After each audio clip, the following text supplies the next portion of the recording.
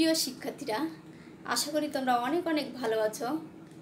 সমাজবিজ্ঞান প্রথম পত্র অনলাইন ক্লাসে তোমাদের সকলকে অনেক অনেক শুভেচ্ছা জানাচ্ছি। আমি উর্মিলা গুড়িয়া, প্রভাষক সমাজবিজ্ঞান চিত্রা মহিলা ডিগ্রি কলেজ, তেরখাদা, খুলনা।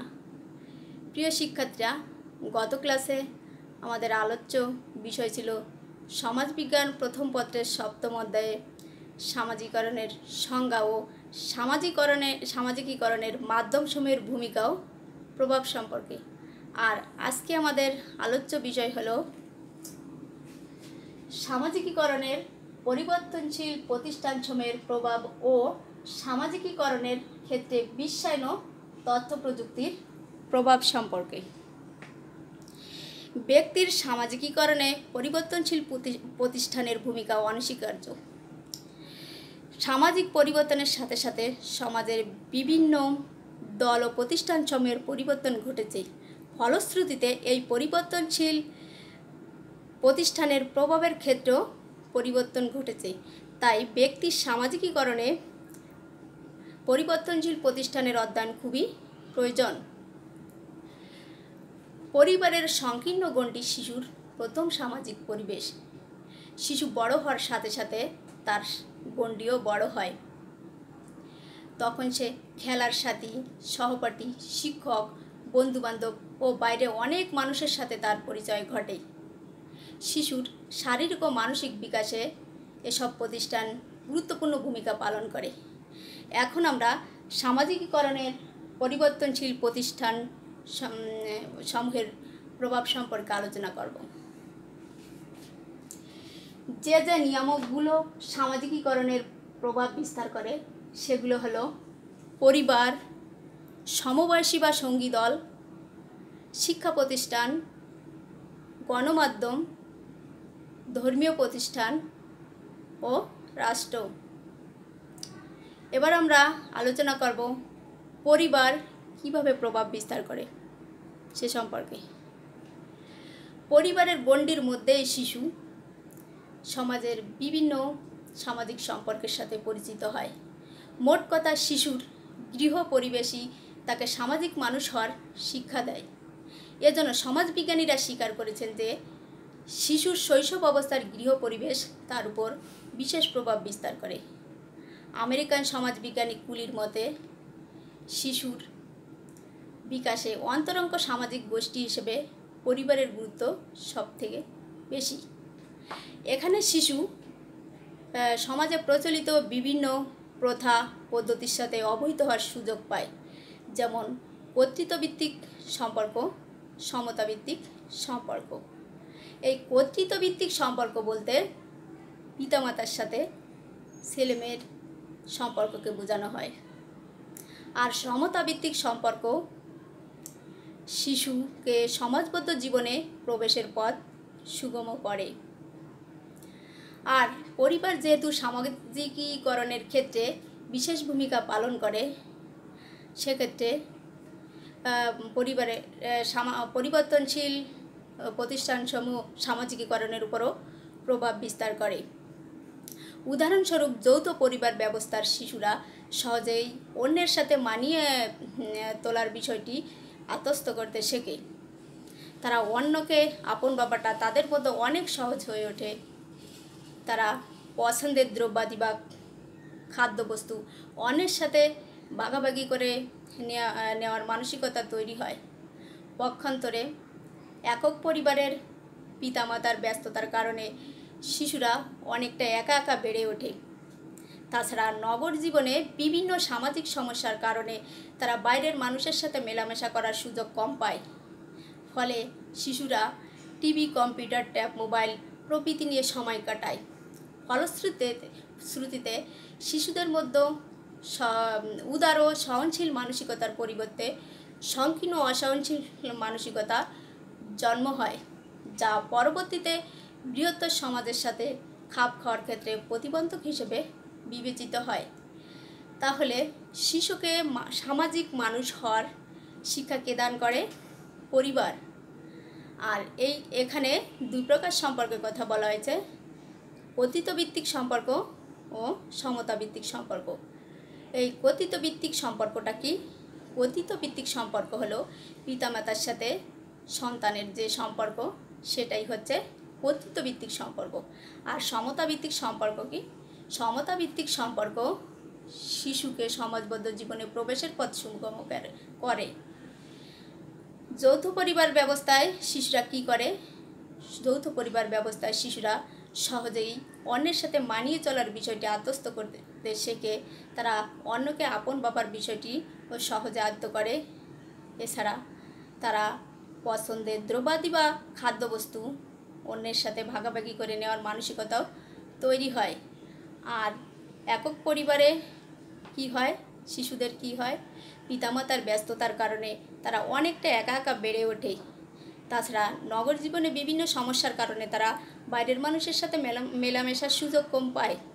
ফলে তারা টিভি, কম্পিউটার, মোবাইল প্রভৃতি নিয়ে সময় কাটায়। এর এর ফলে তাদের মধ্যে উদার ও সহনশীল মানসিকতার পরিবর্তে কোন ধরনের মানসিকতা তৈরি হয়? সংকীর্ণ অসহনশীল মানসিকতা জন্ম দেয়, যা তাকে কী করে? পরবর্তীতে বৃহত্তর সমাজের সাথে খাপ খানের ক্ষেত্রে প্রতিবন্ধক হিসেবে বিবেচিত হয়। এরপরে আমরা আসব সমবয়সী বা সঙ্গী দল কীভাবে প্রভাব বিস্তার করে। পরিবারের পরেই সামাজিকীকরণের ক্ষেত্রে সমবয়সী দলের গুরুত্বপূর্ণ ভূমিকা রয়েছে। শিশু শিশু ও কিশোরদের আবেগগত সমাজের সমাজের বিভিন্ন বিকাশে সমবয়সী দলের প্রভাব অপরিসীম। সমবয়সী দলের প্রভাবে মাদকাসক্তির মতো বিষয়ে কিশোর বয়সীরা সহজেই জড়িয়ে পড়ে। পূর্বে গ্রামীণ সমাজের কিশোররা সমবয়সীদের সাথে মিশে বিভিন্ন ধরনের খেলাধুলায় মেতে উঠত। ইদানিং মাঠের স্বল্পতা আকাশ সংস্কৃতির প্রভাব ইত্যাদি নানা কারণে কিশোররা ও যুব বয়সীরা আহ, অলস সময় কাটাতে কাটাতে বিভিন্ন ধরনের অপরাধমূলক কাজে জড়িয়ে পড়ছে। তাছাড়া নগর সমাজে একক পরিবারের পিতামাতার ব্যস্ততার সুযোগে কিশোররা সমবয়সীদের সাথে মিশে বিভিন্ন ধরনের অপরাধমূলক কাজে জড়িয়ে পড়ছে। কিশোররা ও যুবকদেরকে অপরাধমূলক কাজে লিপ্ত হওয়ার কারণ কি? খেলার মাঠের স্বল্পতা আকাশ সংস্কৃতির প্রভাব ইত্যাদি নানা কারণে কিশোররা ও যুব বয়সীরা অলস সময় কাটাতে কাটাতে বিভিন্ন ধরনের অপরাধমূলক কাজে জড়িয়ে পড়ে। এছাড়া আরও কী করে? নগর সমাজে পিতামাতার ব্যস্ততার কারণে কিশোররা যুবক সমবয়সীদের সাথে মিশে বিভিন্ন ধরনের অপরাধমূলক কাজে জড়িয়ে পড়ে। এরপরে আমরা আসব শিক্ষা প্রতিষ্ঠান কীভাবে প্রভাব বিস্তার করে বা কীভাবে প্রভাব রাখে? সামাজিকীকরণের ক্ষেত্রে শিক্ষা প্রতিষ্ঠান খুবই প্রয়োজনীয় ভূমিকা পালন করে। শিশু তার পরিবার তার পরিবারে গঠিত ব্যক্তিত্ব সহযোগে শিক্ষা প্রতিষ্ঠানে আসে। সেখানে নতুন পরিবেশ, নানা নিয়মকানুন ও নতুন সহপাঠীদের সাথে খাপ খেয়ে চলতে হয়। শিশুর আদর্শ ও মূল্যবোধ বিকাশে পরিবারের পাশাপাশি শিক্ষা প্রতিষ্ঠান গুরুত্বপূর্ণ ভূমিকা পালন করে। শিক্ষা প্রতিষ্ঠানের পাঠ্যপুস্তক, শিক্ষকদের ব্যক্তিত্ব, নৈতিকতা ইত্যাদি শিশুর আদর্শ মূল্যবোধ বিকাশের সহায়ক। শিক্ষা প্রতিষ্ঠানে প্রচলিত ভিন্ন ধরনের শিক্ষা ব্যবস্থা শিশুর ব্যক্তিত্বকে নানাভাবে গড়ে ওঠে।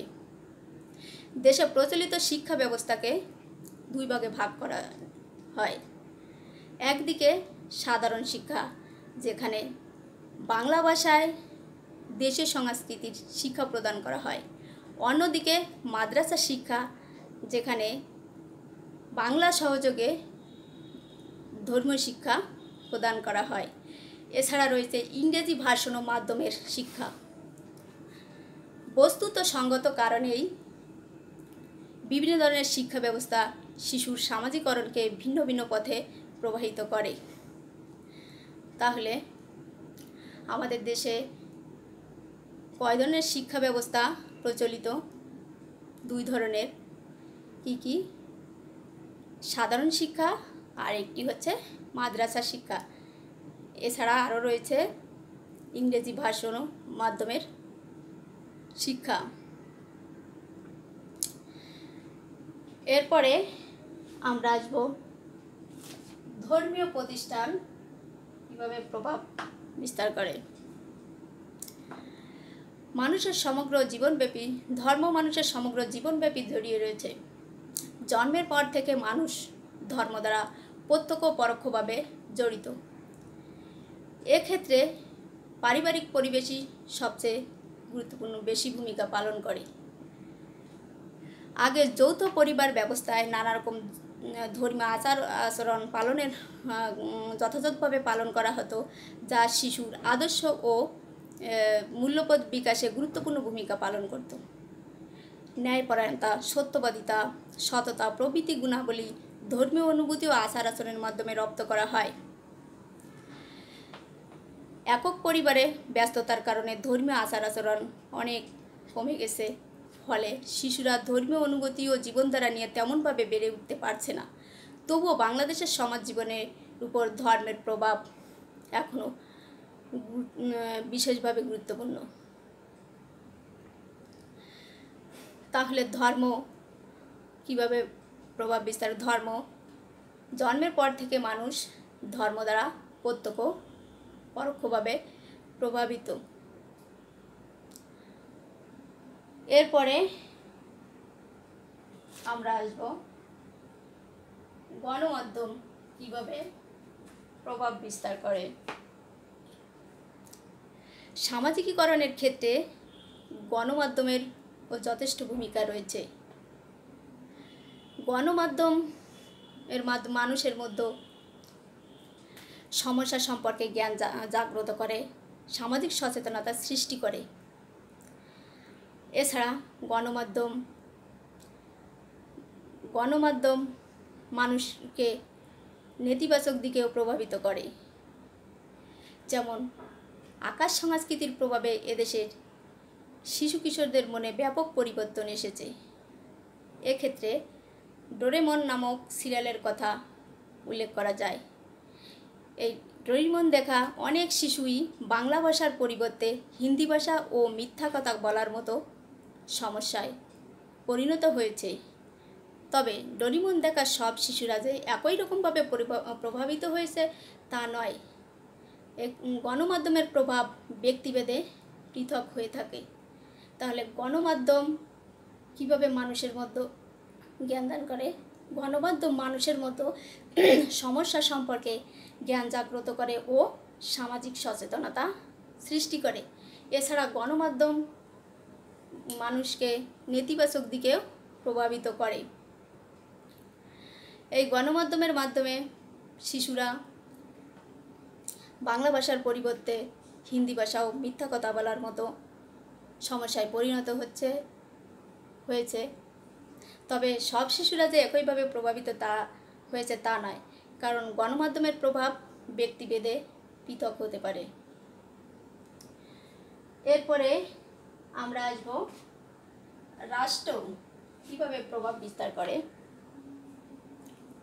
সমাজবিজ্ঞানীদের মতে, আধুনিক রাষ্ট্রে ব্যক্তির সামাজিকীকরণে রাষ্ট্র প্রভাবশালী ভূমিকা পালন করে। বর্তমানের রাষ্ট্র পূর্বের রাষ্ট্রের তুলনায় অনেক বেশি শক্তিশালী। রাষ্ট্র তার আইন প্রণয়ন করে সমাজবদ্ধ মানুষকে সঠিক পথে পরিচালিত করে। যা ব্যক্তির সামাজিকীকরণে প্রভাব বিস্তার করে। তাহলে সামাজিকীকরণেও রাষ্ট্র প্রভাবশালী ভূমিকা পালন করে আর বর্তমানের রাষ্ট্র বর্তমানের রাষ্ট্র পূর্বের রাষ্ট্রের তুলনায় কি অনেক বেশি শক্তিশালী। তো রাষ্ট্র তার আইন প্রণয়ন করে সমাজবদ্ধ মানুষকে সঠিক পথে পরিচালিত করে, যা ব্যক্তির সামাজিকীকরণে বিশেষ প্রভাব বিস্তার করে।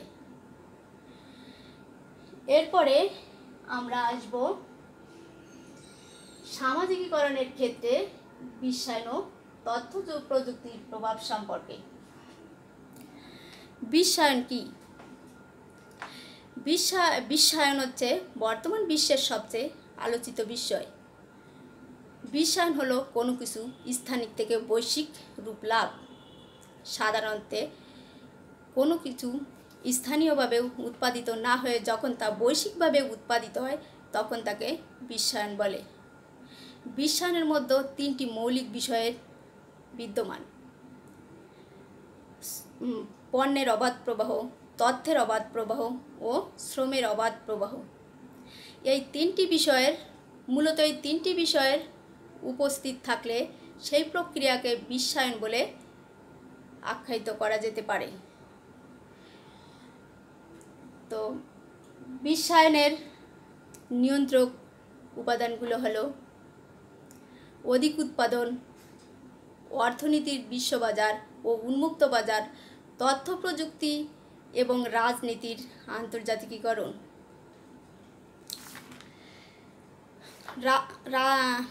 এসব উপাদানের মধ্যে আন্তঃক্রিয়ার মধ্য দিয়ে মানব সমাজের উপর বিশ্বায়ন বহুমুখী প্রভাব বিস্তার করে। বিশ্বায়িত সমাজে ব্যক্তি প্রতিনিয়ত নতুন থেকে ভিন্নতর অভিজ্ঞতার মধ্য দিয়ে অগ্রসর হচ্ছে। বিশ্বায়নের ফলে মানুষের কর্ম, পেশা নির্বাচন, দক্ষতা ইত্যাদি ক্ষেত্রে ঐতিহ্যগত ধারাগুলো ক্রমাগতভাবে বদলে যাচ্ছে। আর এই পরিবর্তনের ধরন সামাজিকীকরণের উপর প্রভাব বিস্তার করে। বিশ্বায়নের ফলে অনেক পরিবর্তন এসেছে, যার ফলে মানুষ, মানুষের, মানুষ অনেক নতুন ধরনের ঝুঁকির মধ্যে পড়েছে। আর এই ঝুঁকির মধ্যে রয়েছে পরিবেশগত ঝুঁকি স্বাস্থ্য সংক্রান্ত ঝুঁকি ও ঝুঁকিপূর্ণ সমাজ গঠন সামাজিকীকরণের ক্ষেত্রে প্রভাব রেখেছে। তাহলে বিশ্বায়নের মধ্যে কয়টি মৌলিক বিষয়ে বিদ্যমান? তিনটি। এই বিষয় তিনটি কি কি? তথ্যের অবাধ প্রবাহ, পণ্যের অবাধ প্রবাহ ও শ্রমের অবাধ প্রবাহ। এই তিনটি বিষয়ের উপস্থিত থাকলে তাকে বিশ্বায়ন বলে আখ্যায়িত করা যেতে পারে। আর বিশ্বায়নের নিয়ন্ত্রক উপাদানগুলো কি কি? এগুলো হচ্ছে অধিক উৎপাদন, অর্থনীতির বিশ্ববাজার ও উন্মুক্ত বাজার, তথ্য প্রযুক্তি ও ও রাজনীতির আন্তর্জাতিকীকরণ।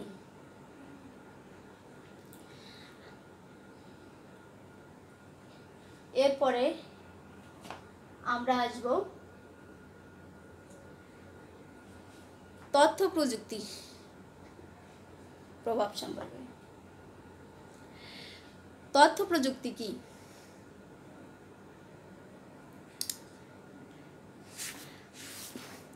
তথ্য প্রযুক্তি তথ্য আদান প্রদানের কৃত কৌশলকেই তথ্য প্রযুক্তি বলে।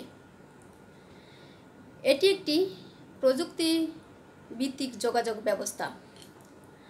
তথ্য প্রযুক্তির প্রভূত উন্নতির ফলে তথ্য প্রাপ্তি যেমন সহজ হয়েছে তেমনি যোগ- যোগাযোগ ব্যবস্থাও দ্রুত হচ্ছে। তথ্য প্রযুক্তির বিষয়কর উন্নতি ঘটেছে কম্পিউটার, ডিজিটাল টেলিফোন ও সাবমেরিন ক্যাবলের সহায়তায়। যেখানে সাবমেরিন কেবলের আওতায় নেই, সেখানে সার্ভারের মাধ্যমে যোগাযোগ ব্যবস্থা সম্পূর্ণ করা হয়। ইন্টারনেটের মাধ্যমে বর্তমানে সারা বিশ্বের নাগরিক সমাজ একে অন্যের অতি নিকটে চলে আসছে। তাহলে তথ্য প্রযুক্তিটা কি? তথ্য আদান প্রদানের কৃত কৌশলকেই তথ্য প্রযুক্তি বলে। আর এটি হলে কি? এটি হলো প্রযুক্তিভিত্তিক এক ধরনের যোগাযোগ ব্যবস্থা। তথ্য প্রযুক্তির উন্নতির ফলে কি হয়েছে? তথ্য প্রাপ্তি যেমন সহজ হয়েছে, তেমনি যোগাযোগ ব্যবস্থাও দ্রুত হচ্ছে। আর তথ্য প্রযুক্তির বিষয়কর উন্নতি হয়েছে কিসে? কম্পিউটার, ডিজিটাল টেলিফোন ও সাবমেরিন কেবলের সহায়তায়। আর যেখানে সাবমেরিন কেবল যে এলাকায় সাবমেরিন কেবলের আওতায় নেই, সেখানে কিসের মাধ্যমে যোগাযোগ সম্পূর্ণ করা হয়? সার্ভারের মাধ্যমে। আর ইন্টারনেটের মাধ্যমে কি হয়েছে? সারা বিশ্বের নাগরিক সমাজ একে অন্যের অতি নিকটে চলে আসছে।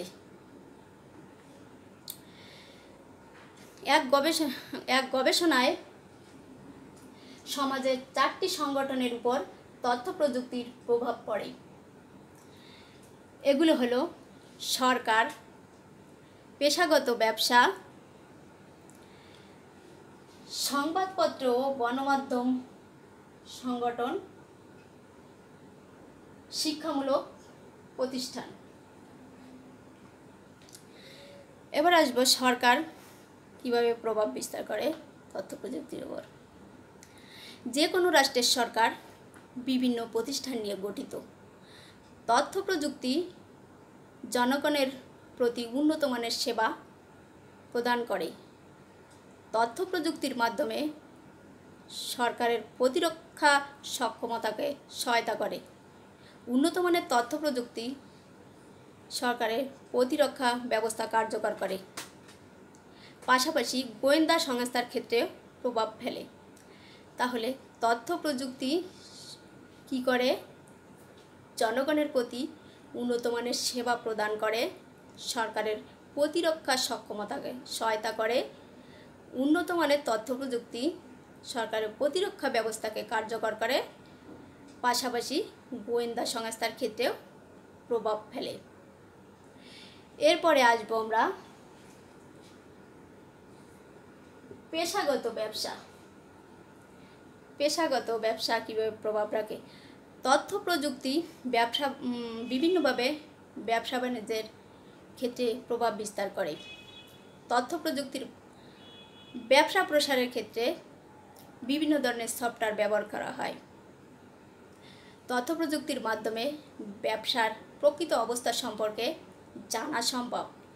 এক্ষেত্রে একজন প্রতিষ্ঠান প্রদান ঘরে বসে তথ্য প্রযুক্তির মাধ্যমে তার ব্যবসা বাণিজ্য তদারকি করতে পারে। এছাড়া একজন ব্যবসায়ী, ভিন্ন এলাকার একজন ব্যবসায়ীর সাথে দ্রুত যোগাযোগ করতে পারে তথ্য প্রযুক্তির মাধ্যমে। তাহলে তথ্য প্রযুক্তি ব্যবসা বাণিজ্যের ক্ষেত্রে কী করে? বিশেষ প্রভাব বিস্তার করে। এছাড়া বাণিজ্য প্রসারের ক্ষেত্রে কী করা হয়? বিভিন্ন ধরনের সফটওয়্যার ব্যবহার করা হয়। আবার তথ্য প্রযুক্তির মাধ্যমে ব্যবসা বাণিজ্যের প্রকৃত অবস্থা সম্পর্কে জানা যায়। প্রতিষ্ঠান প্রদান ঘরে বসে তথ্য প্রযুক্তির মাধ্যমে তার ব্যবসা বাণিজ্য তদারকি করতে পারে। তাছাড়া ব্যবসায়ীরা অন্য এলাকার ব্যবসায়ীদের সাথে অতি দ্রুত যোগাযোগ করতে পারে তথ্য প্রযুক্তির মাধ্যমে। এরপরে আসব আমরা সংবাদপত্র ও গণমাধ্যম সংগঠন সম্পর্কে।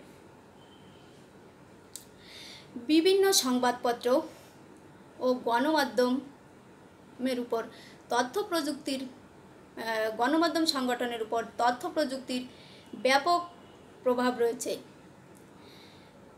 যে কোনো সংবাদ সংরক্ষণ, পরিবর্তন, পরিমার্জন এবং তথ্য তৈরিতে তথ্য প্রযুক্তি বিশেষ ভূমিকা রাখে। তাহলে সংবাদপত্র ও গণমাধ্যম সংগঠনের উপরও তথ্য প্রযুক্তির বিশেষ প্রভাব রয়েছে। যে কোনো সংবাদ সংরক্ষণ, পরিবর্তন, পরিমার্জন, বন্টন ও তথ্য তৈরিতেও তথ্য প্রযুক্তি বিশেষ প্রভাব রাখে।